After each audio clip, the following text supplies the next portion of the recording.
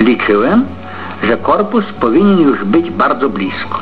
Równocześnie uważałem, że nie tylko z uwagi na uprzedni rozkaz, nie tylko z obowiązku niesienia koleżeńskiej pomocy, ale i dla umożliwienia dywizji przetrwania kryzysu, muszę przeprawić na drugi brzeg tyle żołnierzy brygady, na ile pozwolą mi środki przeprawowe. Zajęliśmy więc pozycję obrony w Dryl, utrzymaliśmy je mimo ataków niemieckich w ciągu dwóch dni. Przez to zabezpieczyliśmy dostęp do przeprawy na Renie.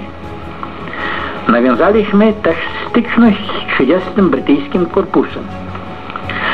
Jeżeli chodzi o zadanie niesienia pomocy dywizji powietrznej, to mimo strat na kilku łodziach dostarczonych przez nią zdołałem w ciągu drugiej nocy przeprawić jedną kompanię spadochronową.